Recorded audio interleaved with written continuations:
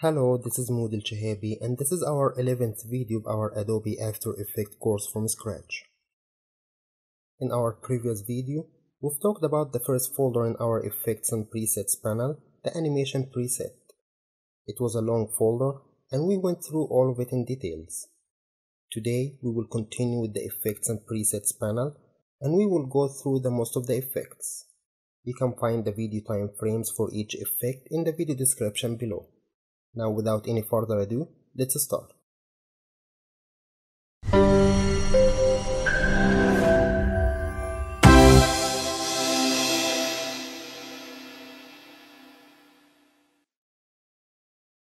Those are some samples of effects we will be doing today.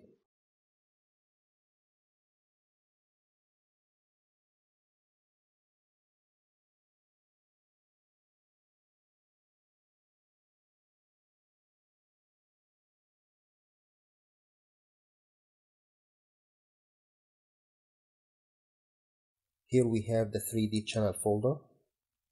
You might won't be using this folder much, as it works with specific file extensions that has to be made by a 3D program like Cinema 4D. The 3D channel extract allows you to extract black and white colors, or increase or decrease each color as you want. Some more options here allow you to create some depth for your layers or characters, add some shade look, or fog which is like transparency. Next effect here is the audio effect. Gives you a variety of options to control your audio and apply some effects to it. I will place my video into my timeline. There is an audio in this video. Open this drop menu and you can find your audio. You can control the audio levels from here Hold and move your mouse right to increase or to the left to decrease. You can also open the waveform to see how your audio is formed. First effect here is the backwards and that will reverse your audio. Hold and drag it on your video or place it on your layer. Take a look at the waveform here.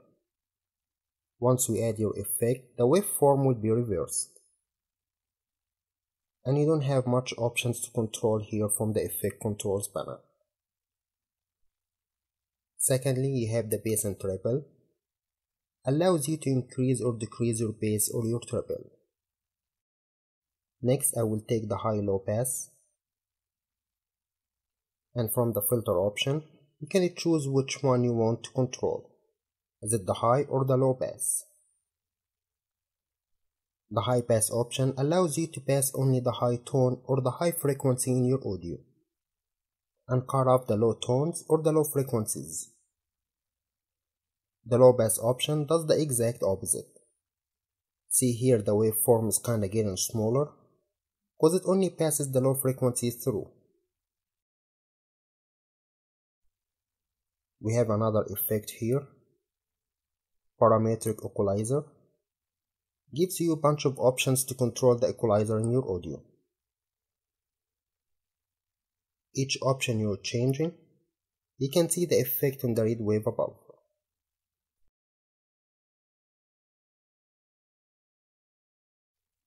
Another important and useful effect here is the stereo mixer and it allows you to control the right or the left level of your audio.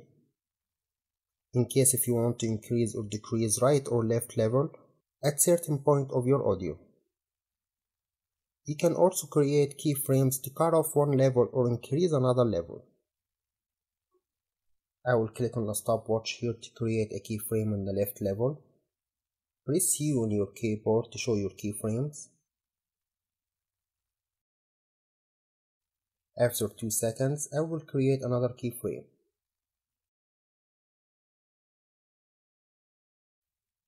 I will place my timeline indicator at the beginning and I will make a keyframe on the right level. Press U twice from your keyboard to show all your keyframes. I'm gonna take the right level all the way down to 0%. After 2 seconds as well, I will create another keyframe at 0% too. Then only a frame further I will create another keyframe and put it back to 100%. So your sound will be only coming from the left level the first 2 seconds, then from both levels afterwards. Next folder here is blur and sharpen. Lots of options to use to sharpen or blur in your video or your image. First option here is bilateral blur. You already see some blurriness.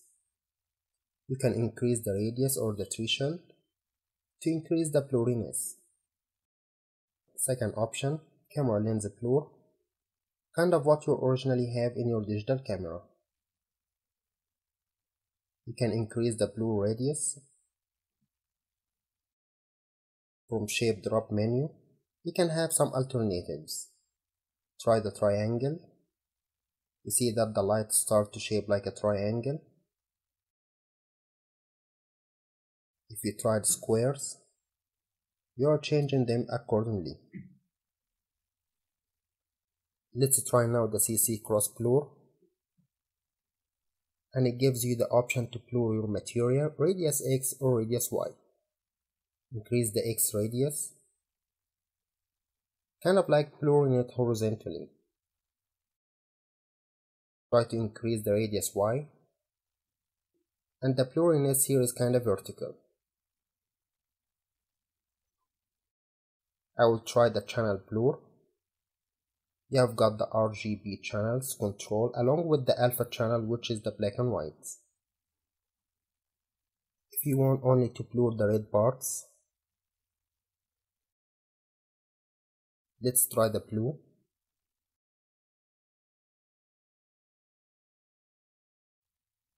Repeat edge pixels, it's kind of important option. If you increase the alpha blurriness, you see the edges are kind of fading. Once you check the repeat edge pixels, you set the edges back to normal. From blur dimension, you can choose both horizontal and vertical, or only horizontal or vertical. Now to the Mocha AE. This here works like a mask. Works for tracking surfaces and stuff. Just click on the icon here to open the Mocha panel. It opens in a separate window. It has its own timeline. I will put my timeline indicator back at the beginning. Select your pen tool and it's kinda different than the regular pen tool that you're used to use. This one here is not very precise. You can make nice curves with it. I'm just gonna select the computer screen. After you finish, just press and hold those ends and move them out to fix those round corners. What we have done now landed here in this layer, layer 1. Now from track drop menu, you have track forward and track backwards. The track backwards here is inactive due to our timeline indicator being placed at the beginning, so there is nothing to track backwards, only forwards. So hit track forwards. Now the plugin is tracking frame by frame. And even though the video is not moving, but the tracking is still not precise as you can see. Now go to File, then Save it. Now close this window. Open the Tracking Data drop menu, and from Create Data Tracking, click on it, and choose Layer 1. That was the layer that we created. Now I'm gonna get another video and drop it on top of this video. Select your initial video. Go to Layer Export to. Choose your top new video. Then hit Apply Export. Now we have to do some adjustments to place this new video on the right place on the top of the computer screen. Open the transform drop menu and from the position and scale option, start adjusting your video to place it right where it belongs.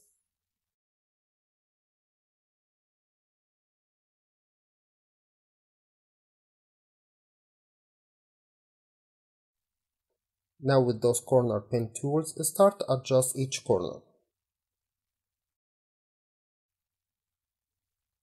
You can do that using the values here or just hold each corner and move it manually. As you play the video, you will still need to do a lot of adjustments. By the time I finished that 4 seconds video, I would have finished 4 masks and got pretty good results.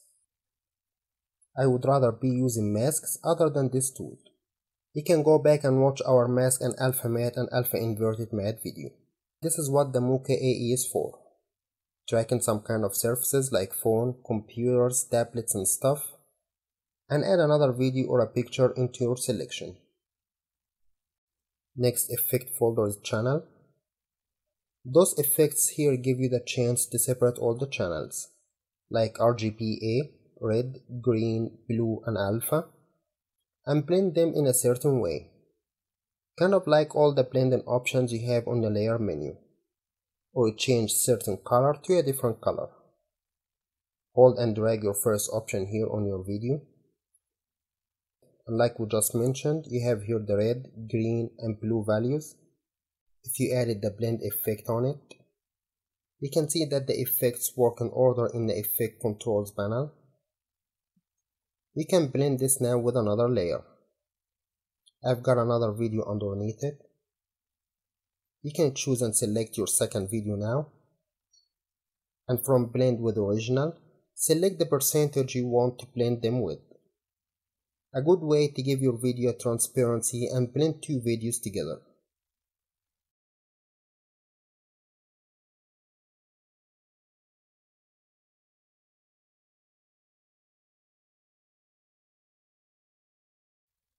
I will try channel combiner and what the channel combiner does is to isolate certain channels or color and you can change that channel or that color to a different color. If you open the from section here, you will see red, green, blue and alpha channels. You've also got hue, lightness and saturation. Let's select the red channel and I will change it to green only. Now all the red color channels have been changed to green. Let's try and change the green to blue. Now everything is blue. You can isolate certain channels or change certain colors to another color. Next one here is Cinema 4D and that only applies to any Cinema 4D files or extensions. Next folder here is the color correction. And if you are a designer, you must be very familiar with the color correction thing. It's a pretty long drop menu in here. First three options are set in auto, auto color, auto contrast, and auto levels. Just hold and drag it on your video you can leave them the way you are or adjust them however you want. You've got black and white. Gives you here all the channels that you might need. You can also add a tint. It changed the color from here. And after you do so, just check that little box in here. Brightness and contrast increase or decrease both of them as you please.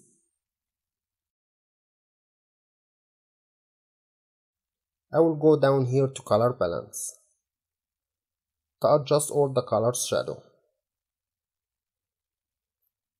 They are very useful effects and they always come handy. However, there is no right or wrong in color correction. It always depends on your taste and also depends on your video the circumstances that you had while shooting your video, as well as depends on your camera. So there is no fixed values that you can memorize for this panel. Next effect here is distort, a pretty good and useful effect that you can use. I will go with you through the basics here. If you tried the first one, Bezier Warp you see you got those points in here where you can control each part of your video. You can either control it manually, like hold and move it,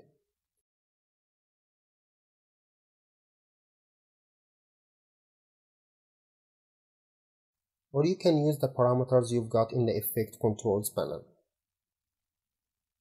I'm gonna animate this effect. I will create a keyframe on the top right vertex. Press on new from the keyboard to show your keyframes. Couple seconds further, I will take the right top corner and bend it a little bit.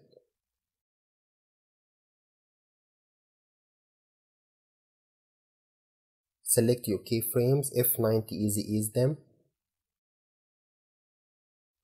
and you can get a cool effect for your video.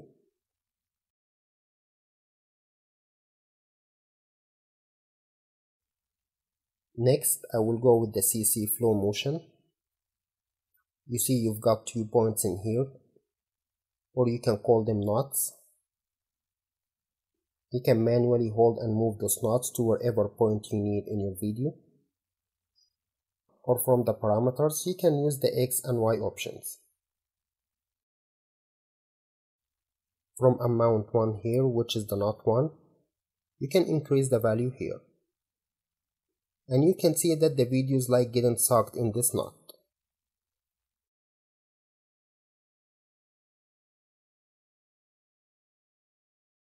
And same for the second knot too.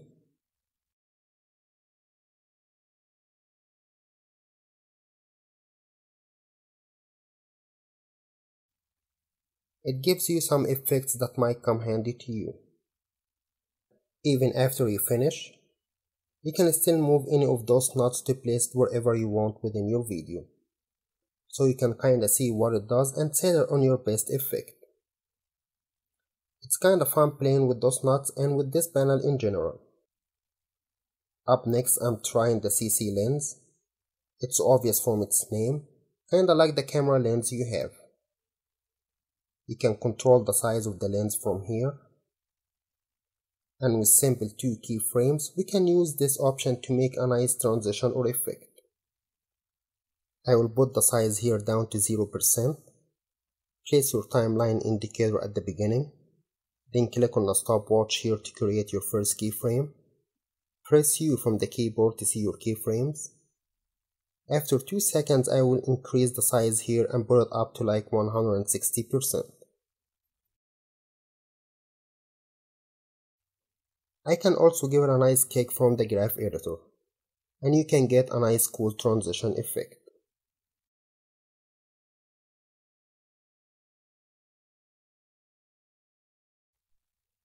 I will take the CC page turn. Another cool effect I use often. See this point here? It allows you to turn and move your video like a page.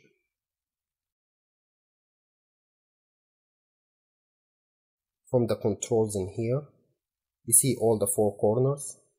Select which one that you want to use to control. If you select the top left corner, you can adjust your page turn from this point here.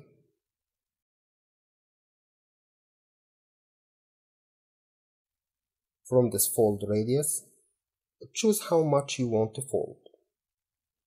And the light direction gives you more options for realism. Back opacity also helps you with the realism. You can control here how much the opacity of the back.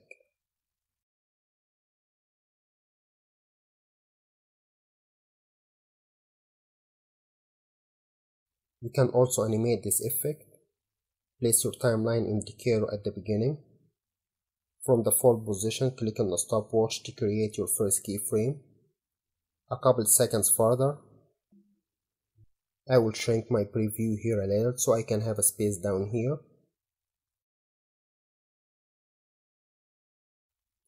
Then I will hold and drag the folding point all the way to the bottom right corner till it disappears to get your second keyframe. Easy ease your keyframes. Put my preview panel back to fit. Hit the spacebar to see the animation or your transition.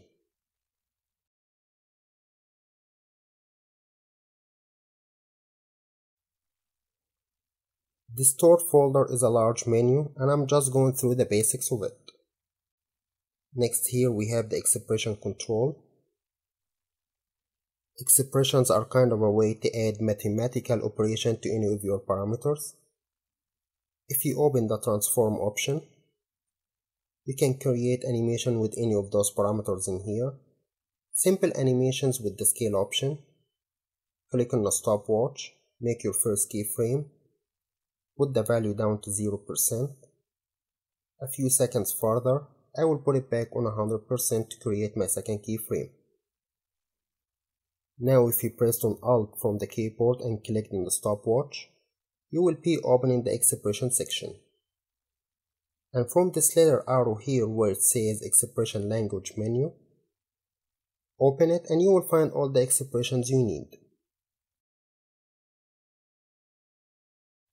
For an instant, go to property, choose temporal wiggle. You will get your expression here. Some expressions you have to adjust them, otherwise they won't work. From frequency here you have to add your value, how many times you want the effect to happen, let's say 2 times, and from the AMP let's say 3 times. Just click with your mouse anywhere outside the expression area to close it. If your expression is wrong, it won't work, and you will be getting a message in your preview window saying so. Now if you tried your simple scale animation, you can see your temporal wiggle effect combined with your scale.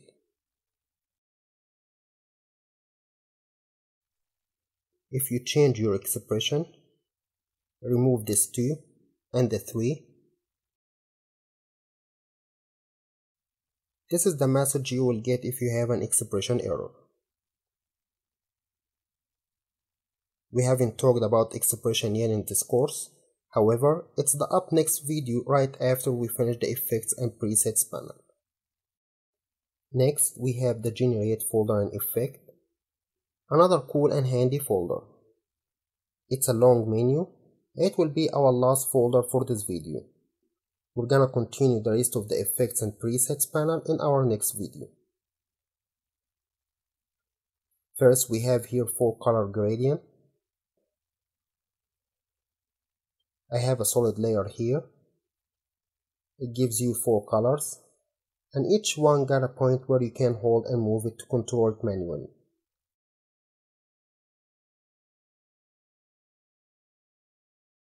Or from the parameters, control them from the X, Y position options. And also you have the option to click on the color and change it to whichever color you want. Control how much you want to blend between them, as well as the opacity.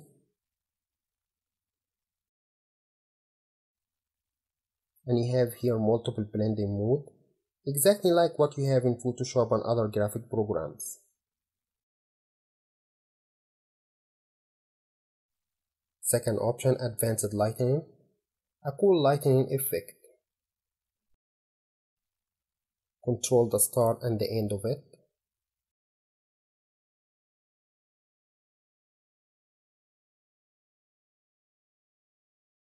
Multiple lightning type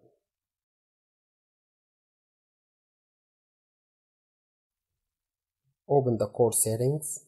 It change the lighting color.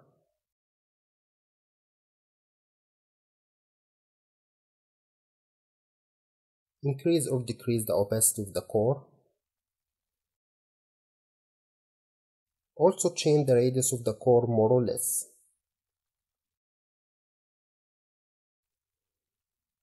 Next I will take the CC light sweep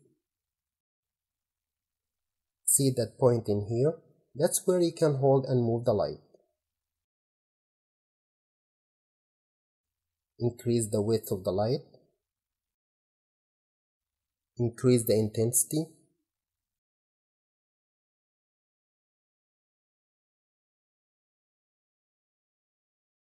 You change the light color if you want.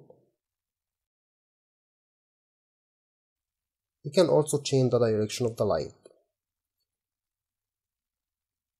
Full access and cool effect. Let's animate this light.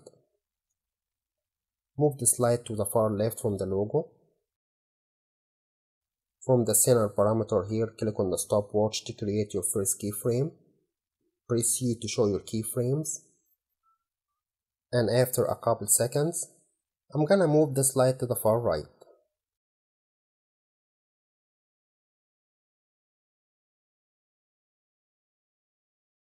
Easy ease my keyframes.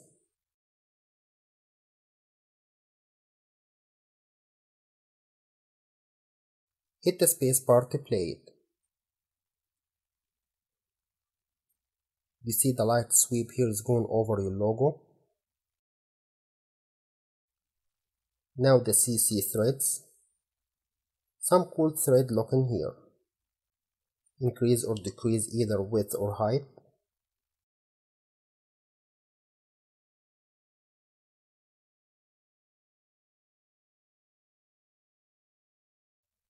How many overlaps?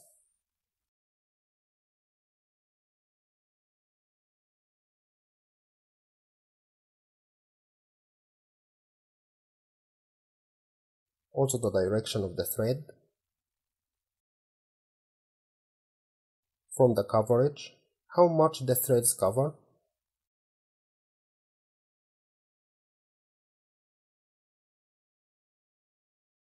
And how much shadow between them. Finally the texture, increase it to give it more a realism look.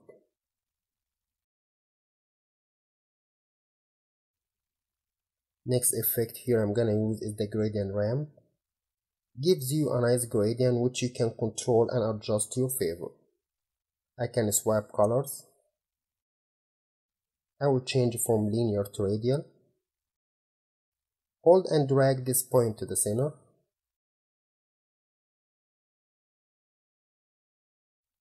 Then hold and grab this point to the outside.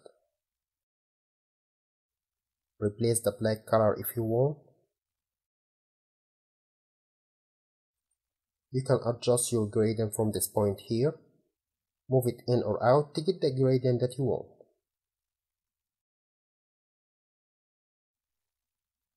Here I've got the grid.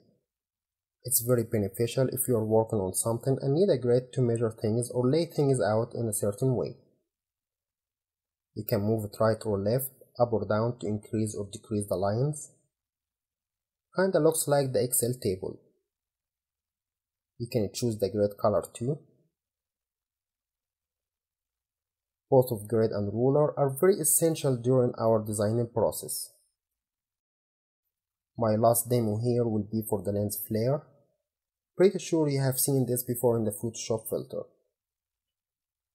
Let me bring a video here to animate this. I'm gonna take the lens flare here all the way out of the video. Click on the stopwatch in the flare center parameter. Press U from the keyboard to see your keyframes. A few seconds further, I will move the flares to the other side of the video.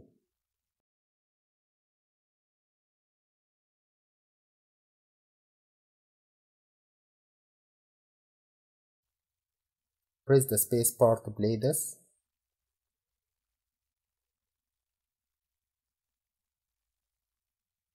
That was a cool effect.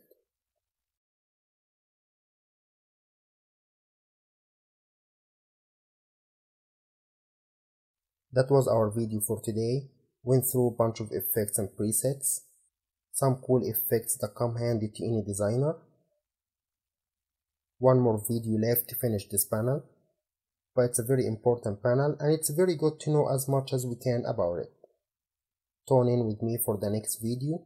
Thanks a lot for watching. Have a good day.